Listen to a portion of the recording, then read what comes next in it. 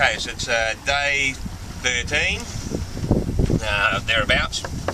Um, we've got Azores, is about 500, 600 miles that way. Canaries, about 1300 miles that way. Still deciding whether we go, we'll call in the Azores or go directly to the Canaries, but it does look like we'll go to the Azores at the moment because we're south of the rhumb line.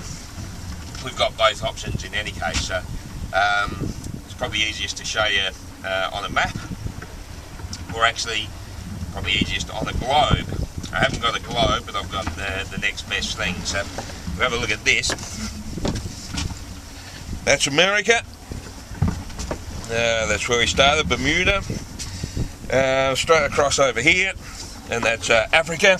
Over this side, Canaries are off Africa. That's the Azores. That's the Canaries. And that's Bermuda. So the um, course was straight across here to the Azores. We actually went a bit south of it. That's our dotted line to track. There's the yacht. So whether we go up here to the Azores or down there to Canaries, we'll wait and see. About in the belly button, that's where we had the storm.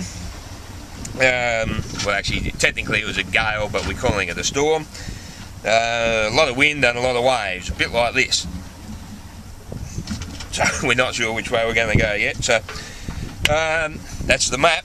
Might be handy if I go overboard. But drawing a map on your guts is another way to pass half an hour anyway. So wind's still good. So um, we'll see how we go. I stay.